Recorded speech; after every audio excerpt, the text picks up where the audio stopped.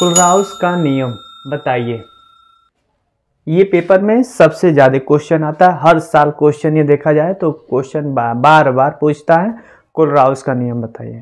2018 में देखने को मिला, दो हज़ार उन्नीस में भी मिला 2020 में भी मिला और 2021 में मिला 2022 में भी मिला। हर पेपर में जैसे मॉडल पेपर जितने होते हैं या फिर बोर्ड पेपर जितने छः सेट सात सेट कराता है तो उसमें हर जगह कहीं ना कहीं किसी सेट में ये क्वेश्चन मिल जाता है। कुलराउस का नियम बताइए, या फिर ये पूछ देता है साटकी दोष किसे कहते हैं, या फ्रैकल दोष किसे कहते हैं? तो हम लोग क्या करते हैं कुछ कुछ याद रखते हैं कुछ कुछ भूल जाते हैं। कुछ कुछ बहुत महत्वपूर्ण क्वेश्चन होता है, जिसको हमको याद करके पेपर में लिखना होता है। तो चलिए आइए हम लोग कुछ महत्वपूर्ण प्रश्नों को हम लोग पढ़ते हैं। तो कुलराउस का नियम बताइए। बहुत इंपॉर्टेंट है। किसी विद्युत अपघट्य को, कोई विद्युत अपघट्य है, को अनंत तनुता पर, अनंत मतलब होता है इन्फिनेटिव ऐसे बनता है। अनंत तनुता पर मोलर चालकता इसके धनायन तथा ऋणायनों की मोलर चालकताओं के योग के बराबर होती है। जैसे यहाँ पर ले लिया जाए तो हो गया लेमडा यम एक बार यम को प्लस कर दीजिए सेम सेम ऊपर आएगा इन्फिनिटी वही ऊपर ही है। इन्फिनिटी इसमें भी ऊपर है मतलब इसको अनंत बोलते हैं। इस बात को अनंत बोलते हैं। एक बार इसको क्या करेंगे? प्लस लेंगे एक बार क्या करेंगे? माइनस लेंगे। तो लेमडा इन्फिनिटिव एम बराबर एक्स हो गया, ये दूसरा वाई हो गया। तो इसको एक बार प्लस लेंगे, एक बार क्या करेंगे? माइनस ले लेंगे। तो जिसमें lambda infinitive plus M plus और लेमडा इन्फिनिटिव यम माइनस क्रमशः धना, धनायन और ऋणायन की आयनिक चालकता होती है। जिसमें जो होता है ये, धनायन होता है, एक क्या होता है? ऋणायन होता है। आयनिक मतलब ये जो आयन होता है ऊपर का जो प्लस माइनस इसी को आयनिक चालकता है, है। ठीक है ना? अब इसमें जानते हैं क्या? जो धन आयन ऋण आयन की मूल चालकताओं के योग के बराबर होता है उसी को कुलराउस का नियम कहते हैं। इसमें एगो प्लस एगो माइनस।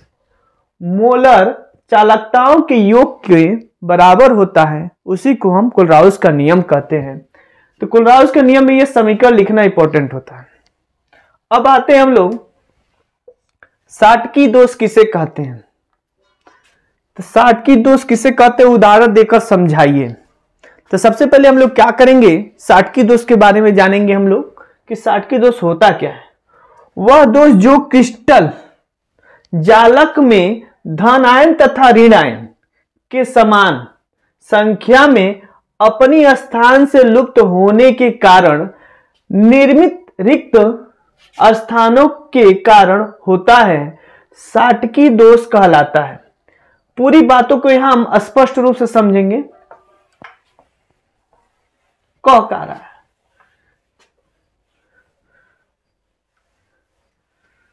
साटकी दोष के बारे में। जैसे मान के चलिए शुद्ध जालक है। शुद्ध जालक किसे कहते हैं? जान लेते हैं। एगो प्लस हो, एगो माइनस हो, एगो फिर प्लस हो एगो फिर माइनस हो। और फिर यहाँ पर माइनस चालू रहते यहाँ पर फिर प्लस हो जाए। और फिर यहाँ माइनस हो जाए, फिर प्लस, फिर यहाँ पर माइनस। मतलब उल्टा चलता रहे। यहाँ पर माइनस है तो यहाँ पर क्या हो जाएगा? फिर प्लस, फिर माइनस, फिर प्लस, फिर क्या हो? माइनस हो। सही हो रहा है ना? Plus, minus plus, minus. फिर यहाँ प्लस फिर माइनस फिर प्लस फिर माइनस फिर प्लस फिर माइनस फिर प्लस फिर माइनस एक और कर लेते हैं यहाँ पर. रहने देते हैं इतने ही. संख्या गिन लेते हैं. प्लस वाला ज़्यादा है कि कम है? एक, दो, तीन, चार, पाँच छ इसी तरह इसमें भी एक, दो, तीन, चार, पाँच छ मतलब कहा हुआ दोष ये शुद्ध जालक हो गया हमारा. जालक किसे कहते हैं, ये जान लेते हैं। जो गोलका है ना, जिसमें धन प्लस होता है ऋण माइनस होता है, इसको जालक बोलते हैं। ये क्या करता है? अपने यहाँ से रिक्त हटा लेता है। मतलब इसमें से गायब हो जाता है। जैसे मान के चलिए शुद्ध जालक है। Plus minus plus minus high जो उजर का उजर का होता है, ये जो पार्ट ये दिख रहा है सज्जी उज्जर जो खाली है, इसको बोलते अंतराकाशी। ठीक है? तो ये शुद्ध जालक हो गया। अब दोष जालक में देख लेते हैं क्या होता है। जैसे मान के चलो ये सज्जी इक्वल है इक्वल है। लेकिन यहाँ पर देखो, यहाँ प्लस यहाँ माइनस हुआ तो यहाँ प्लस फिर माइनस माइनस दो जगह हो गया। तो ये अपना रिक्त स्थान दे दिया, यहाँ पर भी रिक्त स्थान दे दिया, यहाँ पर भी रिक्त स्थान दे दिया। मतलब धीरे धीरे क्या होता है, वहाँ से खत्म हो जाता है। खत्म होके यहाँ पर खाली हो गया, यहाँ पर भी खाली हो गया, यहाँ पर भी खाली हो गया। इस खाली वाली बात को ही बोलते हैं साटकी दोष। मतलब जो अपना स्थान को रिक्त कर दे। मतलब मान के चलो, दस लड़के हे लाइन में, दस लड़का हे लाइन में, दस लड़का हे लाइन में। बैठा दिया जाए और उसमें दो चार लड़का गायब हो जाए। तो स्थानवा खाली हो जाएगा ना? तो उसी को साटिका दोष कहते हैं। साटकी दोष कहते हैं।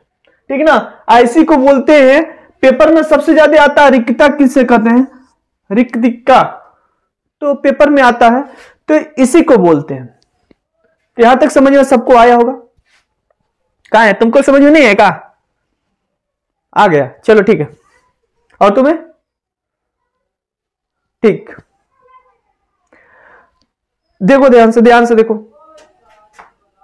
वह दोस्त जो क्रिस्टल जालक ऐसा जी जालक है गोल गोल जो है ना गोल गोल गोल गोल जितने हैं, ये सब जालक है। वह दोष जो क्रिस्टल जालक में धन आयन तथा ऋण आयन धन है और ऋण आयन है? जितना धन होगा, उतना ही ऋणो होगा इसमें। अगर दस गो धन होगा तो दस गो ऋणो होगा। के समान संख्या मतलब को रहा देखो यहाँ पर समान भी दे दिया। जितना है, उतना ही है।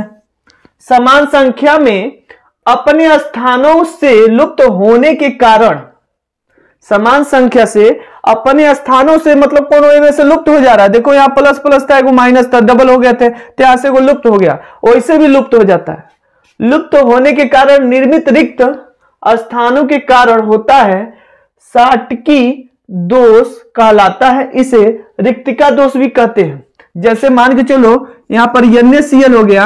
एन पे प्लस होता है सीएल पे क्या होता है माइनस होता है। के सीएल हो गया H B K B R भी हो गया। ते उदाहरण हो गया। ये इसका चित्र हो गया। अगर कभी कभी दे दे चित्र तो आप लोग स्पष्ट रूप से जान लेना कि कह देता है कभी कभी क्वेश्चन शुद्ध जालक बनाइए। तो प्लस भी बराबर होना चाहिए माइनस में बराबर होना चाहिए। प्लस में अगर दस गो है तो माइनस में दस गो होना चाहिए। ठीक है ना? अगर कह दिया कि दोष वाला रिक्तिका बनाइए। रिक्तिका या फिर बोल दे साठ की दोष तो उसमें से एक दो गायब कर दो। एक दो तीन गो गोला सब में से गायब कर जैसे इसमें के गायब किया इसमें से भी कर दिया, इसमें मतलब सब में से एक एक गायब कर दो। रिक्तिका हो गया। अब आते हैं फ्रैकल दोष किसे कहते हैं?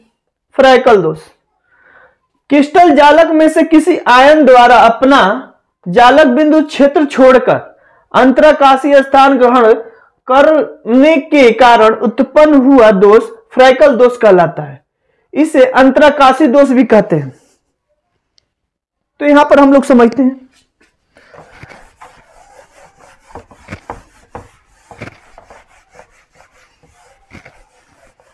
फ्रैकल दोष किसे कहते हैं?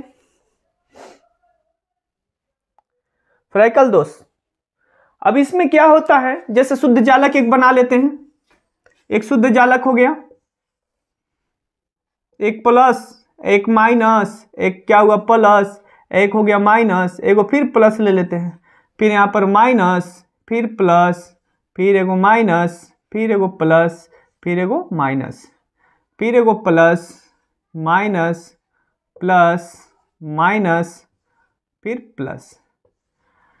तो फ्रैकल दोष उसे कहते हैं, ये सब जालक हो गया। ये जालक क्या हुआ? यहाँ से कूद कर यहाँ चलाया। ये जालक को यहाँ से कूद कर यहाँ चलाया। इसी को फ्रैकल दोष बोलते हैं।